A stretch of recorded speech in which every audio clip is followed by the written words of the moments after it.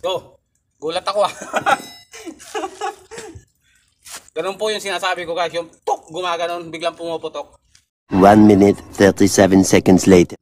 Hello guys, welcome to my channel. So guys, magandang araw po sa inyo lahat, magandang umaga po sa inyo lahat. So ngayon guys, magpapalit po tayo ng gulong. Kasi yung gulong ko guys, flat po. Kung nakikita nyo po ito, ayan po, dapan-dapa na yan. Tapos yung flat po guys, yung panloob. Yung panloob po ang flat. So ngayon guys, papakita ko sa inyo, magpapalit tayo ng gulong. Ako lang po mag-isa magpapalit ng gulong. So wala po akong katulong. Kasi po walang tropa rito. Lahat po nasa biyahe na. So ito po yung mga gamit natin guys. Ito po yung jack, ito po yung tubo, ito po yung tie rings. Yan po yung pangkalso sa jack. So guys, mahirap pong gawain ito kasi magbabaklas tayo ng gulong, tayo lang mag-isa. Ayun nga guys, mahirap na gawain to. Pero kung sanay ka na at kung alam mo rin po kung anong gagawin mo, kayang-kaya naman po natin to kahit mag-isa. So guys, tara, simulan na natin para matapos ng maaga habang hindi pa mainit.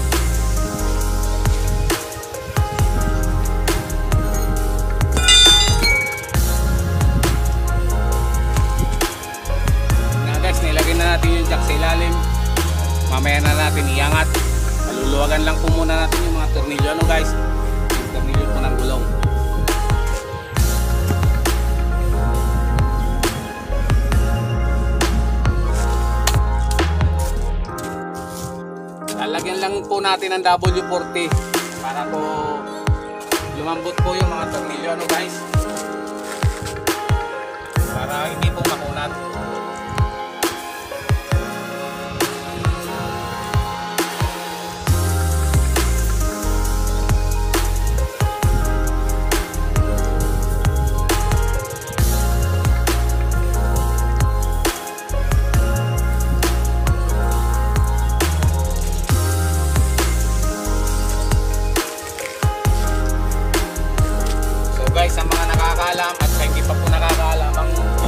guys at ang rain. Kung tawagin ko dito sa Saudi ay stock type guys. Magbabaklas na ng gulong lalo ganitong flat yung tornilyo guys huwag natin tatanggalin agad. Magtitira tayo ng nakakabit na konti. Basta huwag po natin tatanggalin lahat tong tornilyo na to. Kasi pag tinanggal mo po lahat yan sakaling mag-impact nakalakpak po siya. Sakaling umimpact na at lumuwag na, tsaka lang po natin tatanggalin lahat ng tornilyo. So lahat po ng tornilyo guys, luluwagan lang po muna natin. Po natin tatanggalin agad-agad. So ipapakita ko po sa inyo kung paano po ano.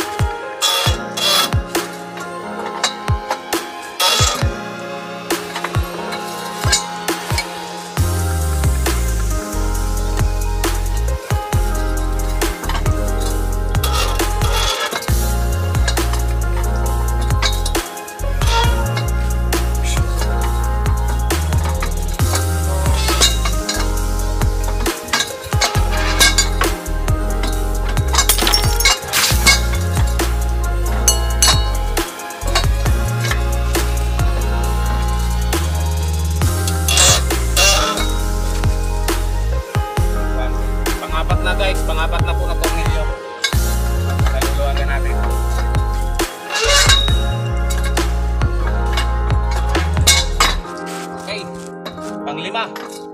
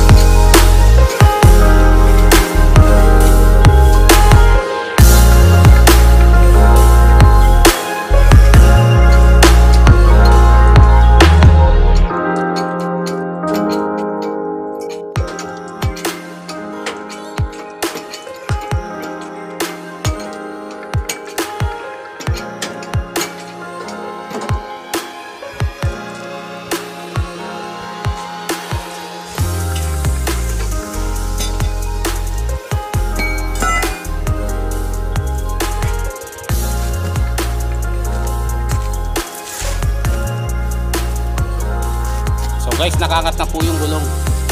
Naiangat na po natin yung jack. Kaluluwagin na lang po natin yung mga tornilyo. Ano guys?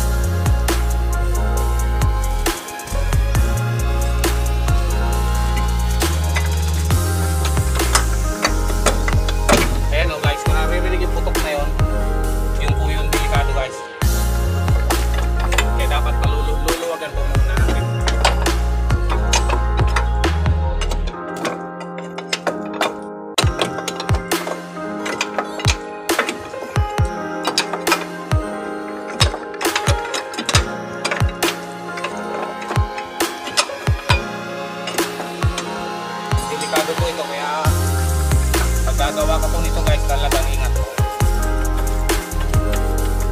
so, kung nakikita niyo po ito. Guys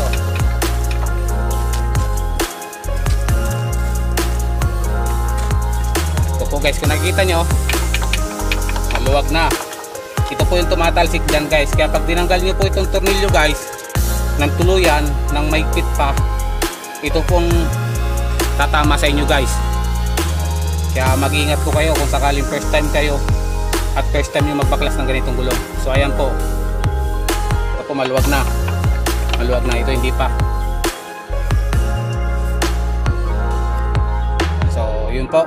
Luwagan lang po natin lahat para po maging maluwag na kasing gaya po nito no.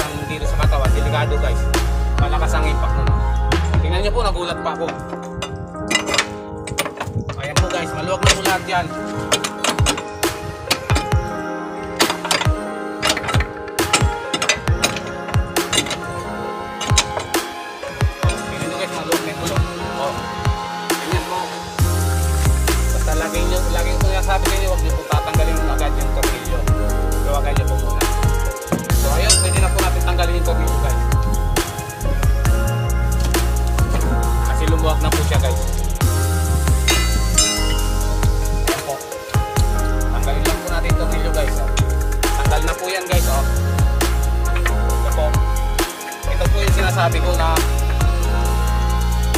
i-impact sa inyo puputok at i-impact sa inyo. Mabigat to guys. Mabigat pa sa bato kaya delikado to pag tumama sa katawan mo kang man parte ng katawan mo tumama sigurado. Ay kalalag yan. Kaya natanggal na po natin. Maluwag na po lahat guys.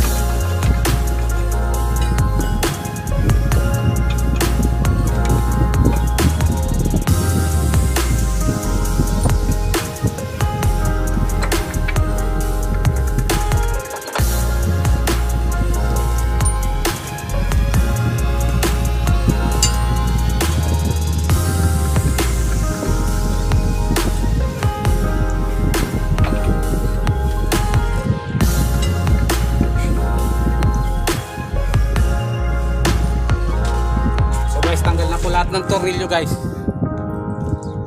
Ayan na po yung tornilyo guys. Nakasunod-sunod din po yan. Tatanggalin na po natin yung gulong